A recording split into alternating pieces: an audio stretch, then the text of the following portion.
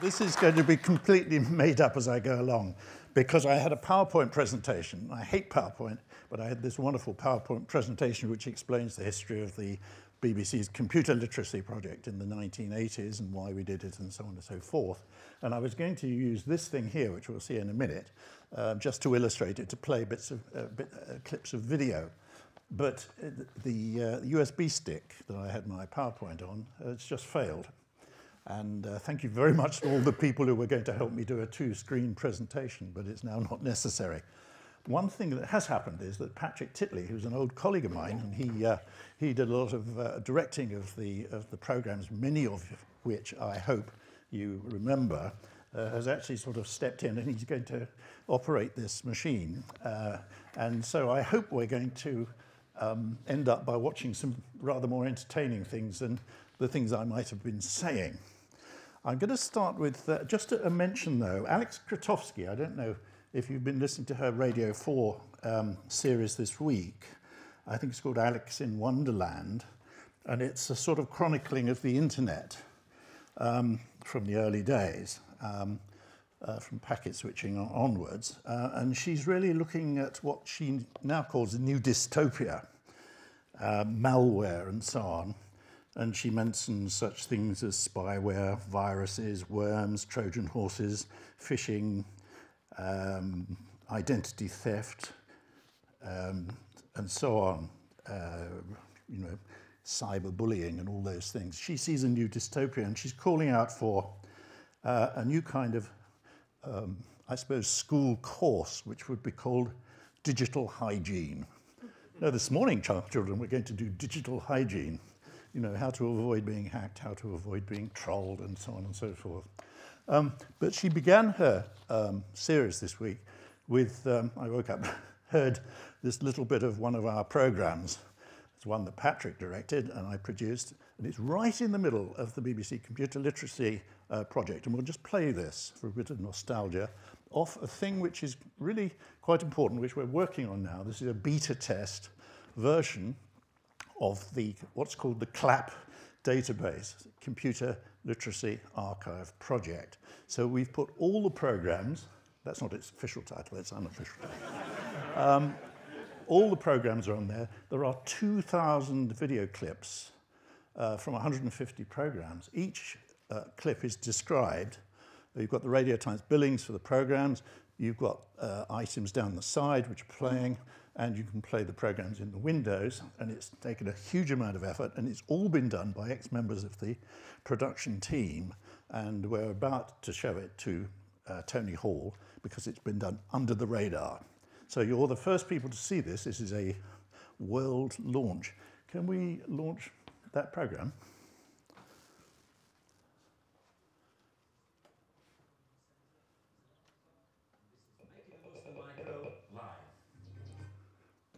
Ah, well.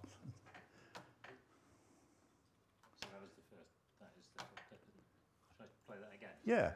Well, it should it should run on. Here it is. Good morning. This is Studio 4 at the Television Centre. It's 11 o'clock, and this is Making the Most of the Micro live. Oh, all right. Well, that's very a very good start. Let's go to um, yeah. It will run on, but I can't remember how you, how you make it run on. Just click the play button, I suppose. Now, this was a program that went out on a Sunday morning. We took over the whole of Sunday morning on BBC One because in those days, BBC Education could do that. Just keep pressing play. I think it should, it should just go on. You may wonder why we're doing this programme live. Well, there are two reasons. Firstly, the previous two series gave an impression that everything to do We turn it up. in a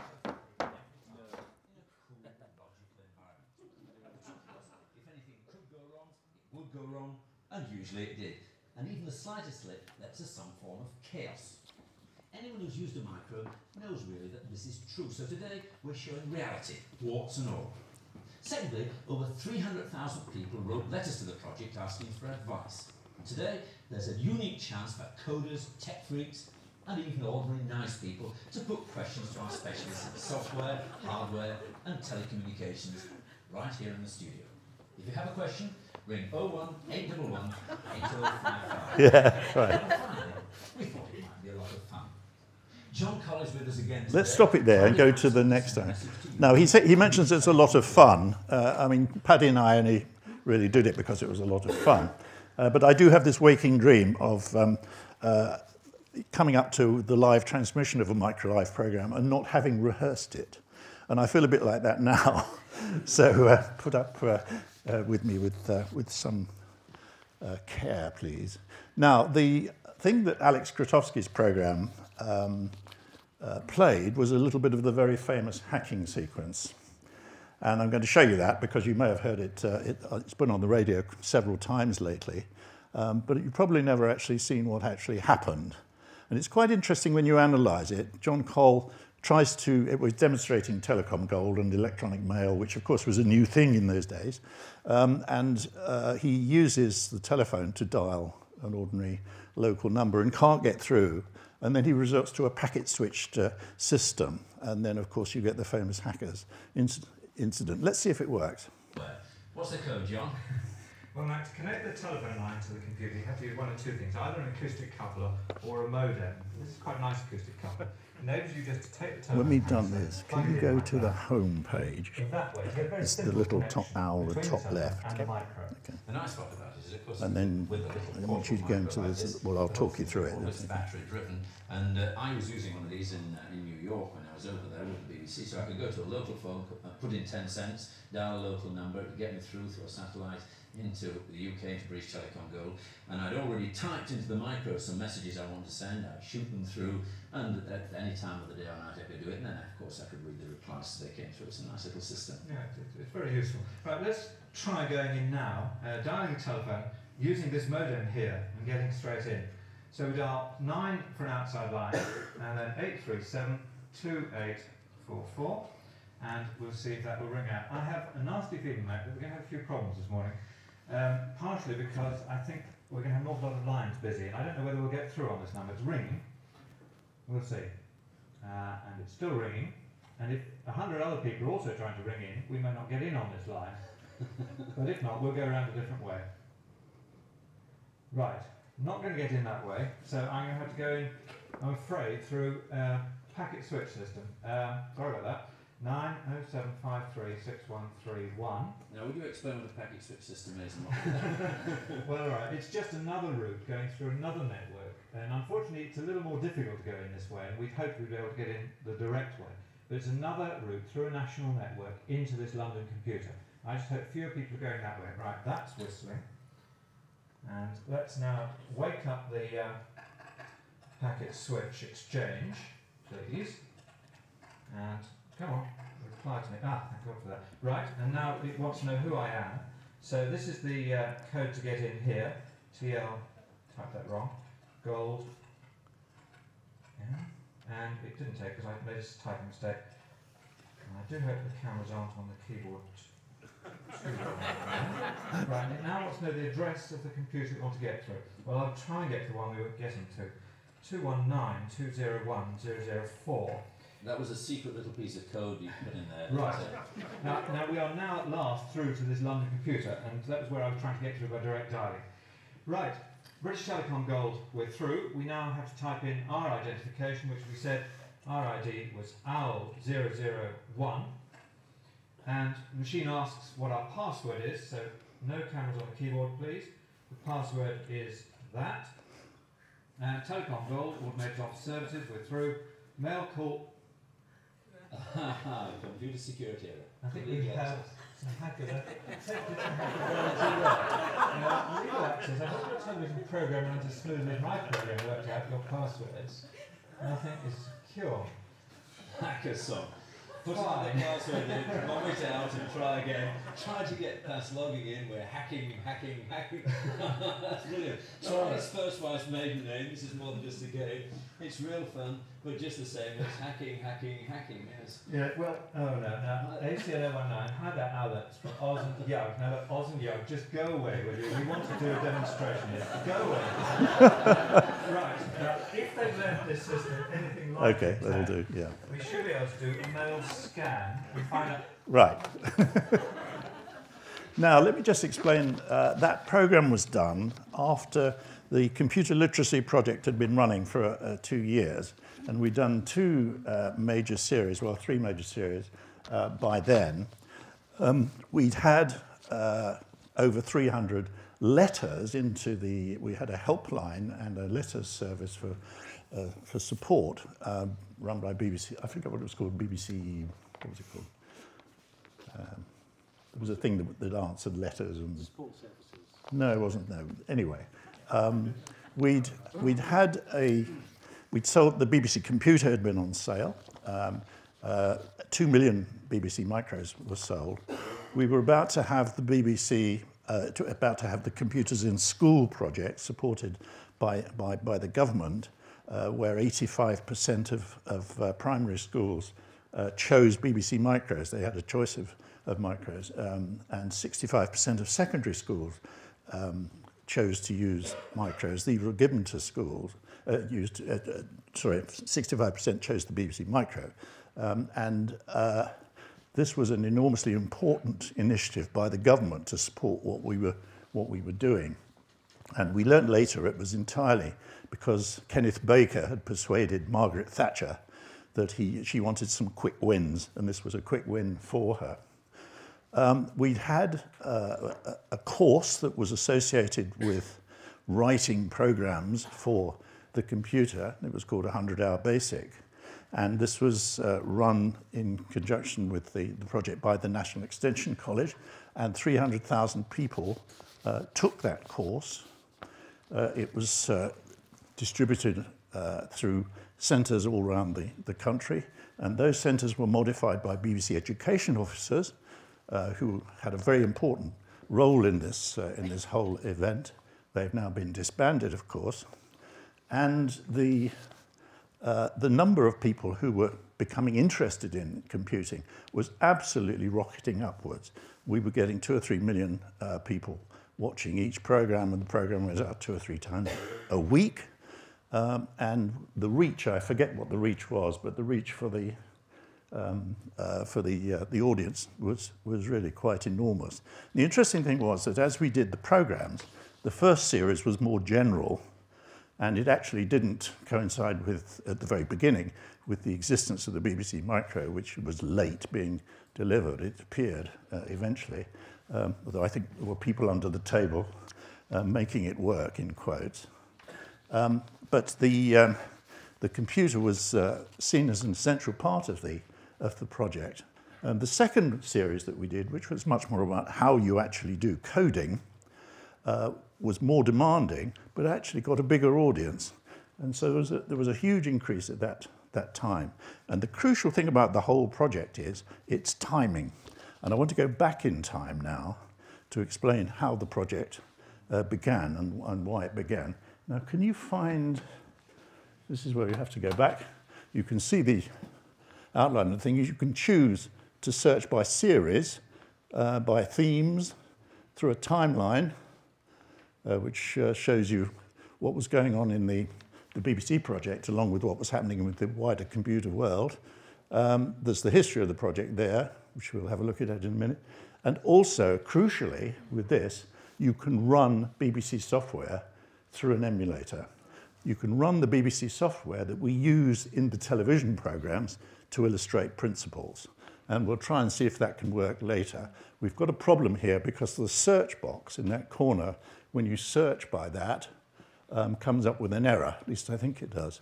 Could you go to series and go right down to the bottom? These are the series we did. You see, in, from 1980, uh, from 1997, sorry, uh, 19, sorry, 1978 right through to 19. 87, um, we did a whole series of, of series. And can you go down to related programs? And then at the top, you'll see the horizon. Now the chips are down. Now that horizon program was very important. Uh, if we can get it to, uh, to the point on the timeline. Just from the beginning? No, from, remember what we said was, Oh, uh, yeah, only so many minutes in. Right. This was back in 1978. And Horizon did a program. Uh, we're hoping to find the, the appropriate bit of it. Sorry, we haven't had time to rehearse this. But it's about 50, 50. Was it? Yes, okay. This was a program that looked at the world of micro, at the microprocessor and the fact that British industry was not doing anything to make use of microprocessors. It was really not, uh, it, not uh, taking um, very much, paying very much attention to the new technology generally. The microelectronics revolution, as of course it was being called in those days, whereas other countries were, run, were kind of running away with it. And it ended with this uh, comment about the government and the fact that the government was doing nothing at all uh, to promote the microelectronics revolution. I don't know if we can come in. Let's come in about there. A million pound market just for trading. Some people believe that we must change from hardware to software.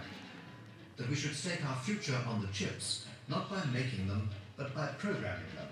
And that we should use our software skills to develop high technology industries around them. We are in a time of great innovation opportunity, and this is the great strength of the British. I mean, time and time again, we have led the, wor the world in innovation and in invention, and I think we've absolutely got this opportunity at the moment. I think we ought to regard the microprocessor and everything that goes with it as not an industry in itself, as far as we're concerned, but the raw material for an industry. We can buy um, processing, but it's, it's virtually nothing. Effectively, it's nothing. Shall we say five, five dollars? The actual product at the end of the day that might be a word processing device, an automatic uh, typing system, some automatic learning or teaching machine, some trading system for a banker, can be, shall we say, five thousand pounds or five thousand dollars. You can be, you're looking at a thousand to one multiplier in terms of the difference between the processor cost and finally what you can sell it. We're going to find all sorts of new ideas sprouting forth. Uh, and we do want to be able to tap them off, to be able to give somebody with a good, if you like, lateral thinking idea of applying a microprocessor in an entirely new sort of way. Give him the opportunity of really building on that, exploiting it, producing a world-beating product from it, marketing that product, and reaping the rewards from it. The example of industry creation that everyone quotes is the EMI body scanner.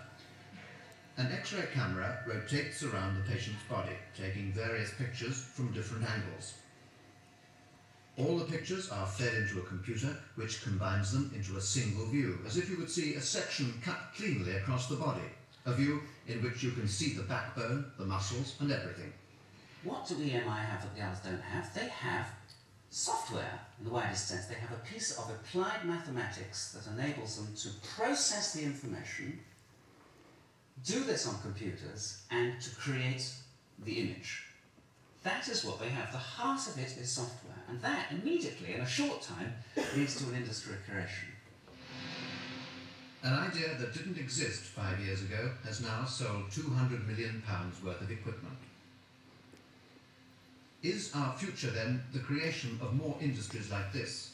One can hope so, but so far there are no other examples to point to. What will happen then to the men in today's jobs? Sorry.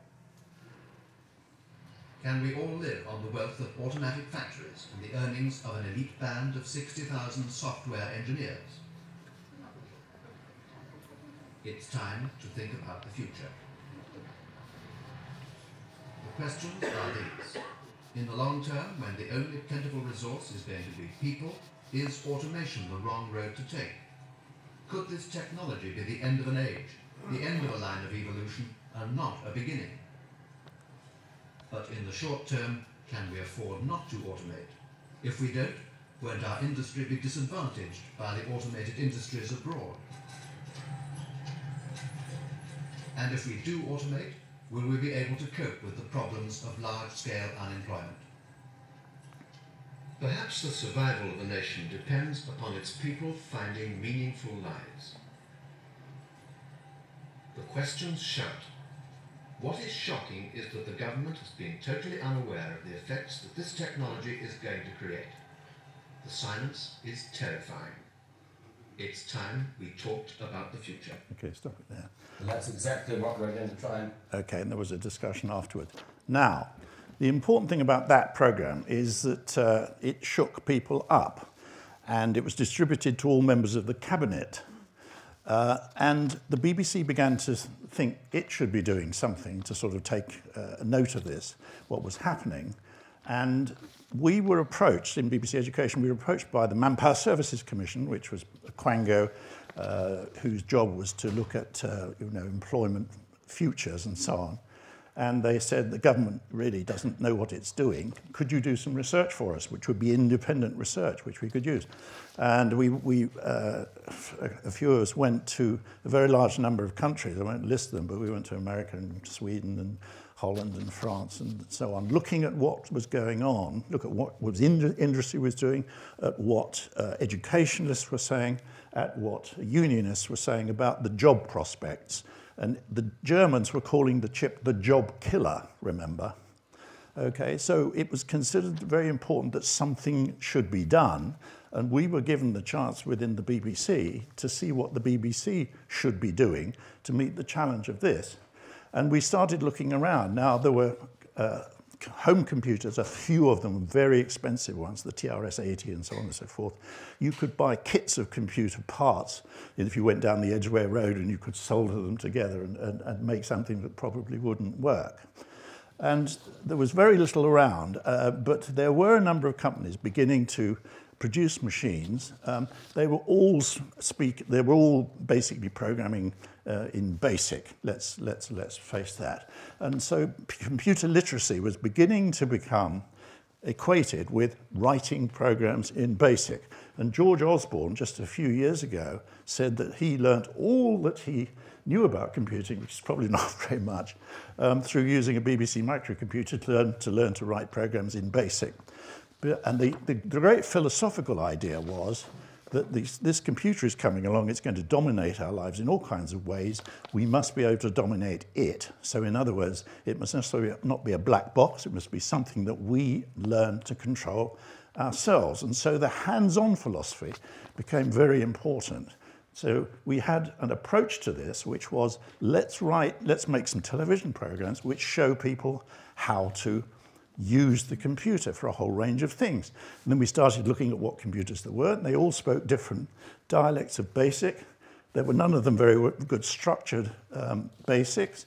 We had uh, the advice of some people, some experts on what a st good structured basic would be.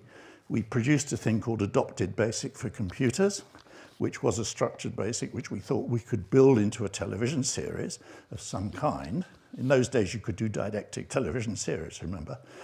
We had a meeting in uh, London with all the producer, all the com uh, computer companies that we could find, and we said, could you adopt this on your machines? And they said, well, only if the government pay for the ROMs that you plug in. And the government basically said, no, we're not doing that. And the computer companies went away saying, on your bike. So we were left with, the problem. What on earth do we do? And um, in the end, it takes a very long time to explain why it was. It, it just so happens at this moment in history when there wasn't the right sort of machine, we decided we needed a machine of our own. We tried to go with a company that was publicly funded through the National Research and Development Council called Newbury, the New Brain. I don't know if anyone's heard of the New Brain. Um, it failed and then in desperation, we produced a specification which we sent out to all the British computer companies. We didn't have to compete outside. We weren't in Europe at that stage. Um, and the, um, uh, the, a number of companies uh, said what they had in the pipeline. We looked at those uh, companies, we looked at what they had, uh, and as you know, the, the, the, uh, the, the story is that Acorn won the, won the contract. And we then started producing programs built round uh, the computer, which we had control of, and it was specially designed to uh, interact with the, um, you saw the computer screen there was a very clear image because it, it, it was built along with uh, a lot of advice from BBC R&D, BBC Engineering, took a huge interest in the design of the machine. Uh, they also had a teletext decoder, which could uh, uh, take uh, telesoftware uh, distributed through the Ceefax lines, um, and uh, so you could download software overnight and run it in the machines and so forth. So it was a very integrated uh, system, and it, um, it was extremely successful. The project was very successful, although a lot of people um, didn't approve of it, of course. Uh, now, I'd like you to see if you can find, if you go to um, Computers in Control, Program, or, or, just uh, Computers in Control. Yeah, Program 3 is called Making Things Move. Yeah. And somewhere around there, you'll find one of those shows uh, uh, uh, John Coll with um, doing. shows Binky. No, it's not Binky. Binky was a robot.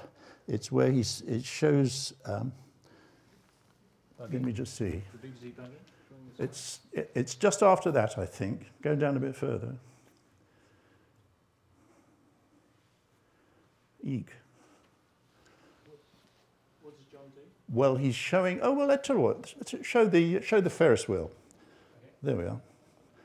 The thing is, our search thing doesn't work. If you type in a search thing, it just comes up with a, a load of error messages at the moment, uh, which is unfortunate. Yeah.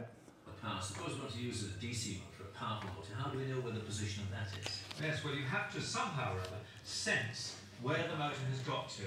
Now, in a uh, Ferris wheel like this in a fairground. But no doubt by Steve once again. Oh yes, he's been at it again.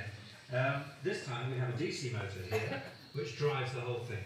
But if you want to know where the wheel is, then you have to feed information back.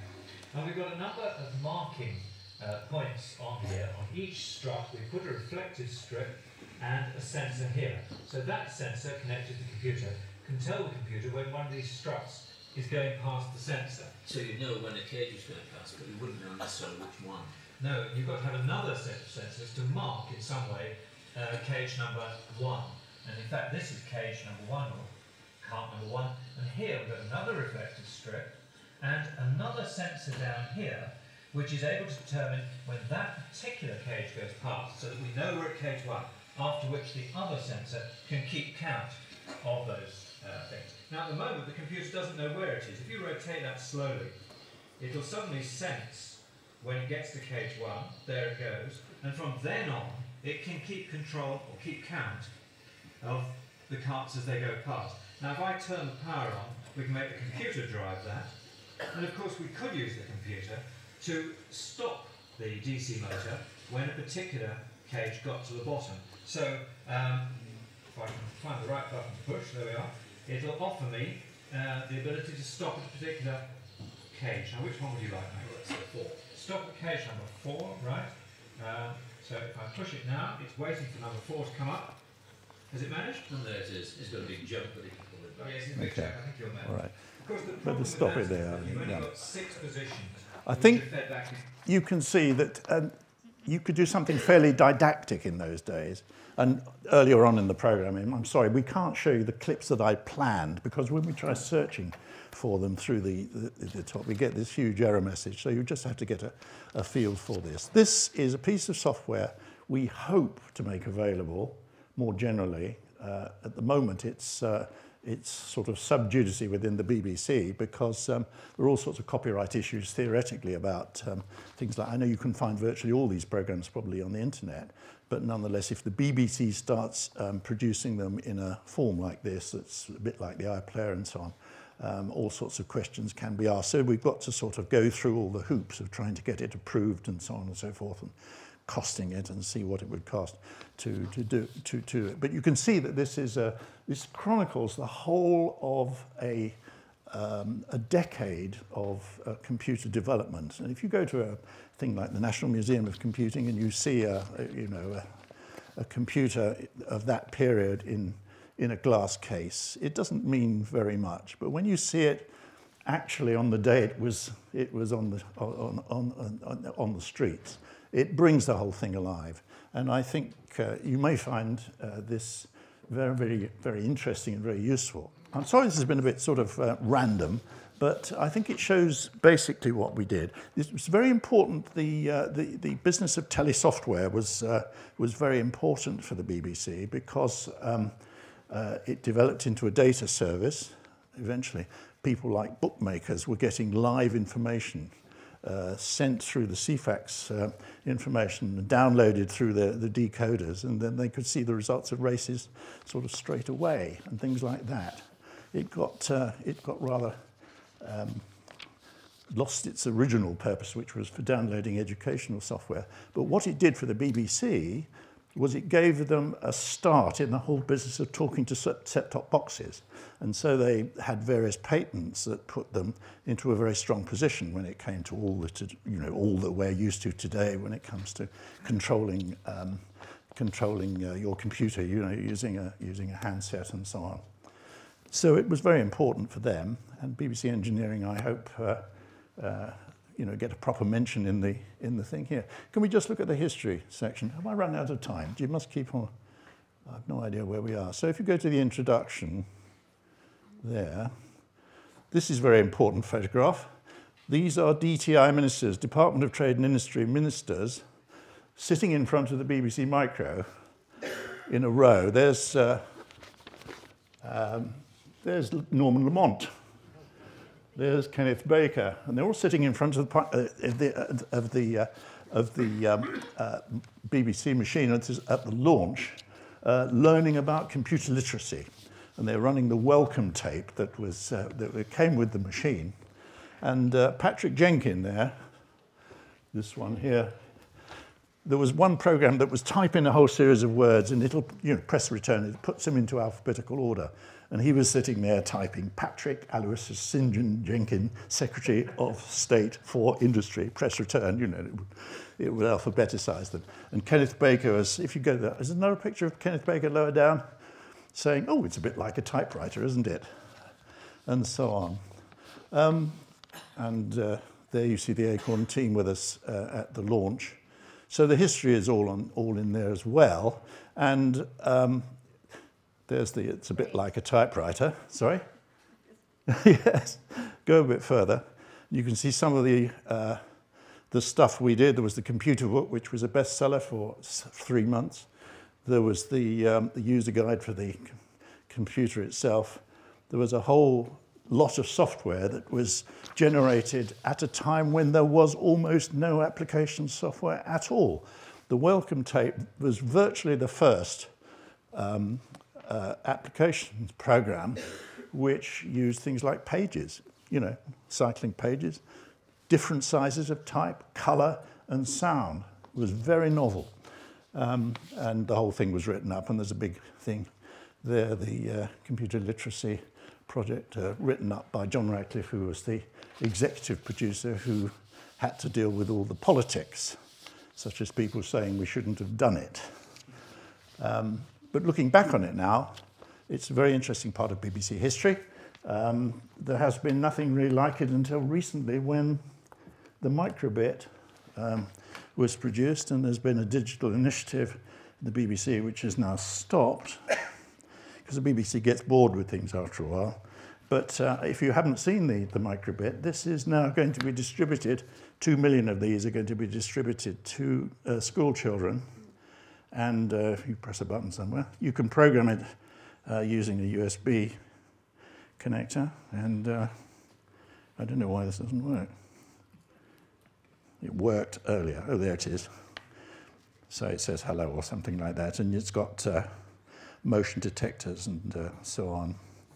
But this is being given to uh, two million children, and with any luck, um, you know, we'll create a new generation of, of coders um, using this possibly as a starting point. And my grandson is getting one for his birthday in a week's time. okay. no, they're, well, they're, they're free. They're, well, you can buy them, but uh, yes. oh, I see, yes, yes, absolutely. Cheapskate. Any questions? Um, and I'm sorry it's been so rambling. Thank you for your time. Well,